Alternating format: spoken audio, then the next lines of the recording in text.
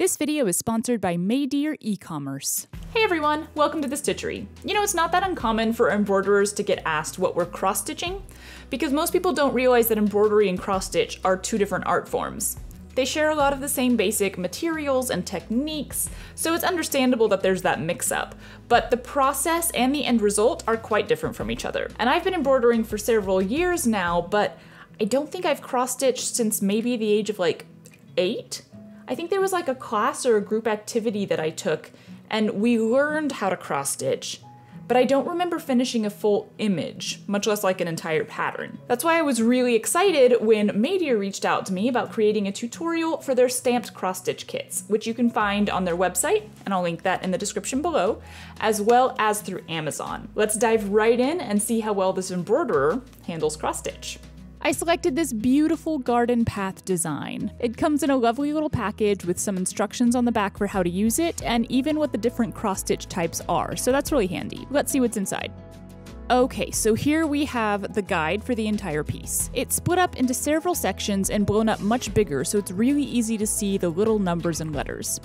It also has this main page that shows you the finished piece and holds your key or color guide. So these numbers correlate to each color of thread you'll need, and the center row shows that color of thread as well as the letter or number that's going to be on these paper guides. I really like that they also include the DMC number for the floss as well. There's plenty of thread included in the kit, but just in case you lose some, or you know, the dog decides thread is his new favorite snack, you would be able to match the colors and get some replacement thread thread.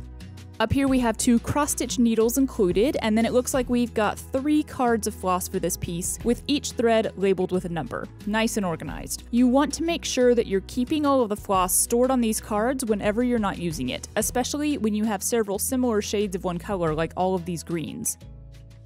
And here is the fabric itself. Cross stitch is traditionally sewn on a material called Aida. It's basically a type of canvas with this really specific open weave, so you have all of these little holes perfectly spaced out. You also don't need to use an embroidery hoop or a frame while sewing this because the fabric is fairly stiff and it can't stretch whatsoever. And now if you're wondering why the colors of this design look so dang weird, it's to help the stitchers. With contrasting colors, you don't have to go cross-eyed staring as you sew. Your stitching should cover all of this background up pretty well, but just in case any odd colors are poking through, this entire design will wash off. Once you finish stitching, just soak it in water for 20 to 30 minutes and then let it dry. Okay, let's talk about these keys down here. This key on the bottom tells us which floss goes with which symbol or color. The bottom key is for full stitches, and the side key is for back stitches. So all we have to do is find the symbol or the color on the fabric here, and then match it to the number of the floss color we should be sewing over that area. Now don't get confused with the colored squares on this key. These colors are the floss colors. So the lavender square here is floss number 9, whereas the lavender lavender symbol on the fabric correlates to floss number 10, which we can see here is actually yellow. Seems a little bit complicated, but it really isn't. Just give yourself a few minutes to go over the keys and really figure out what's what before you get started. I can start pretty much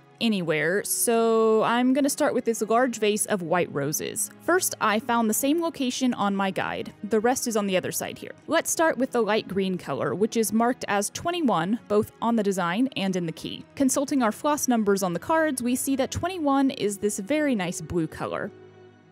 We can see here on the thread card that this design has been marked as a 14 count. That means we'll separate each piece of floss, which is made up of six separate strands, into thirds, using only two strands of floss at a time. If it was an 11 count, it would be marked right over here, and you would be separating your thread in half using three strands at a time. I just want to cover each little square of light green with an X of thread. I can do one square at a time, or if there's a whole row of the same color, I can go all the way down that row, creating just one side of the X, then come back in the other direction, filling in that second diagonal line on each square to finish it off. First row done, only a couple thousand more to go.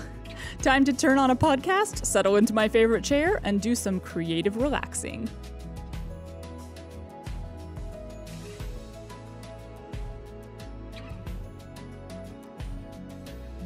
So if you're looking for a new hobby to keep your hands busy, or you're interested in stitched crafts but you're not sure how to get started, cross stitch is a really good option. A stamped kit like this is especially great, firstly because everything you need is included, so you don't have to worry about running to the store to find the right thread or pick up a hoop. If you're like me, you need to be doing something with your hands while binge watching your new favorite TV shows. These patterns are meant to take a month or more to stitch, so one kit will last through quite a few series, and in the end, you'll have this gorgeous work of art, worthy of framing on the wall. Big thanks to Maydear for sponsoring this video and giving me the chance to try out a new art form. Maydear is currently holding its semi-annual sale with up to 50% off of its products, as well as free shipping within the US. Check out the link in the description of this video and use code STITCHERY to get an additional 10% off of your entire purchase at checkout. If you're outside of the US, Maydear offers some digital products like PDF patterns, or you can find Maydear cross stitch kits on Amazon. And of course, don't forget to subscribe to the Stitchery for more explorations of textile arts and crafting. Thank you so much for watching, and I will see you all next time.